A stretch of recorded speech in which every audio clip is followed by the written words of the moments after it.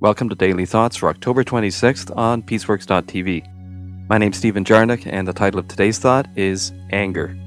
I don't think the Bible has anything good to say about anger. Oh, you may find something about God's righteous anger, but that's about God. It's not about you and me.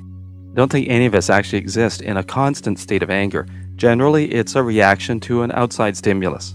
Something happens to us that's not good, or something takes place that we don't approve of, and off we go. We get angry, and nothing good can happen when we get like that.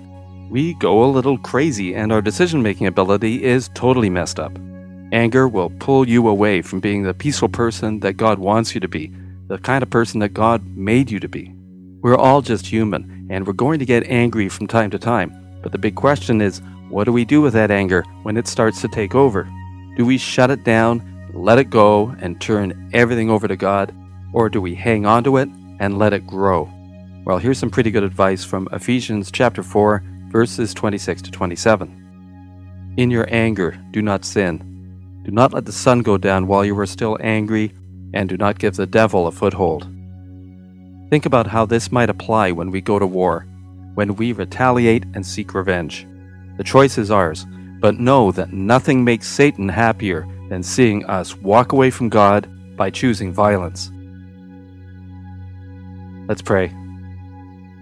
Heavenly Father, please help us to get out of the habit of hanging on to anger when we should know better.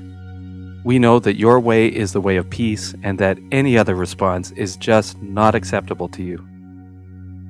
In Jesus' name I pray. Amen.